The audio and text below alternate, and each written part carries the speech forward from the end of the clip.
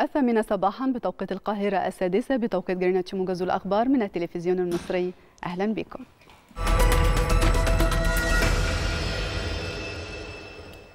أعرب الرئيس عبد الفتاح السيسي عن تمنياته للرئيس القبرصي المنتخب بالتوفيق والسداد في قيادة بلاده إلى مزيد من التقدم والازدهار على كافة الأصعدة.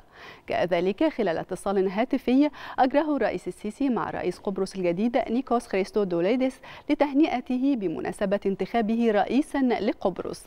وصرح المتحدث باسم رئاسة الجمهورية بأن الرئيسين أكدا خصوصية علاقات الصداقة المصرية القبرصية ومتانتها والتي تتأسس على قاعدة صلبة من القيم المشتركة والمصالح المتبادلة فضلا عن استنادها على إرث غني ومتنوع من التبادل الإنساني والتمازج الحضاري الممتد مع الإعراب عن التطلع لاستمرار تطوير وتعزيز الشراكة الاستراتيجية بين البلدين الصديقين خلال الفترة القادمة في ظل القيادة القبرصية الجديدة. وأضاف متحدث الرئاسة أن الرئيس السيسي أعرب عن بالغ التقدير للرئيس القبرصي المنتهية ولايته نيكوس أناستاسيادس لدوره المحوري في تعزيز أواصر الصداقة المصرية القبرصية خلال سنوات توليه لمنصبه متمنيا له كل التوفيق والسداد. تابع رئيس مجلس الوزراء مصطفى مدبولي الموقف التنفيذي لتوفير الأراضي الصناعية على مستوى الجمهورية. وخلال الاجتماع وجه مدبولي بسرعة توفير الأراضي الصناعية التي طلبها عدد من المستثمرين الأتراك في لقائه معهم. وأشار رئيس الوزراء إلى ما تتخذه مختلف أجهزة الدولة من إجراءات لتهيئة المناخ الجاذب للاستثمارات في مختلف القطاعات خاصة قطاع الصناعة.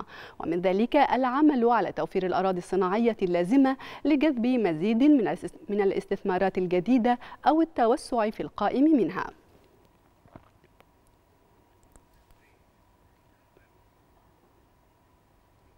بحث وزير الخارجية سامح شكري ونظيره البرتغالي جواو كرافينيو العلاقات الثنائية بين البلدين وسبل دفعها قدما في ضوء العلاقات المتميزة التي تجمع البلدين. وذلك على هامش أعمال الدورة العادية الثانية والأربعين للمجلس التنفيذي للاتحاد الإفريقي بأديس أبابا. وخلال اللقاء ثمن شكري التعاون والتنسيق المتبادل بين البلدين في مختلف الأطر الدولية منوها بمواقف البرتغال الداعمة للمواقف المصرية في المحافل الدولية.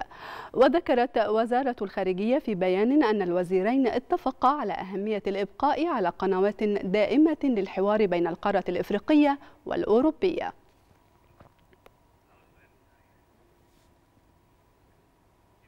أعلنت هيئة الكوارث التركية ارتفاع حصيلة ضحايا الزلزال المدمر الذي ضرب تركيا إلى 38044 قتيلا وعشرات الآلاف من المصابين.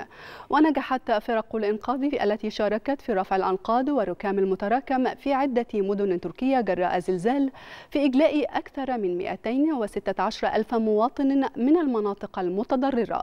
هذا وأعلن الأمين العام للأمم المتحدة أنطونيو غوتيريش أن المنظمة الدولية توجه نداء مساعدة دولية لجمع مليار دولار لتركيا التي تعرضت في السادس من فبراير لزلزال عنيف.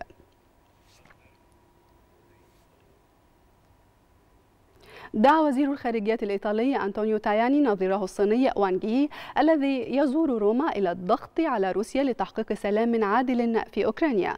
وقال تاياني في بيان صدر عن وزارته إنه يتعين على الصين أن تؤدي دورا أساسيا في الدفع نحو السلام. وأكد أيضا تاياني أن مستقبل وانجي في مقر وزارته ضرورة الضغط على روسيا لتعزيز شروط سلام عادل من خلال دعم الدبلوماسية والعقوبات الفعالة والمساعدات الإنسانية وتحقيق العدالة للضحايا. وفق ما جاء في البيان.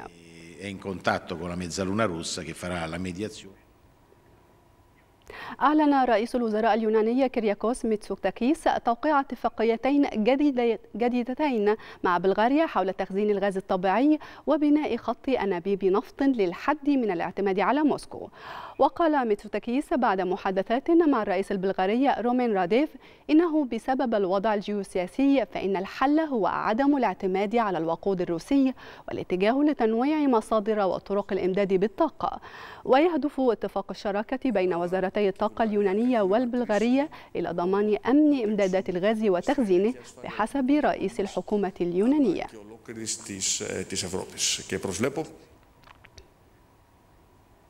أعلنت قيادة الدفاع الجوي لأمريكا الشمالية أن طائرات حربية أمريكية اعترضت طائرات عسكرية روسية قرب ولاية ألاسكا للمرة الثانية هذا الأسبوع.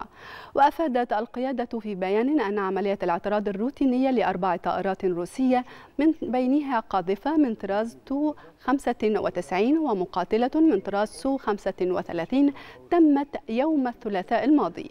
وأكدت الطائرات الروسية التي بقيت في الأجواء الدولية ولم تدخل المجال الجوي السيادي الأمريكي أو الكندي.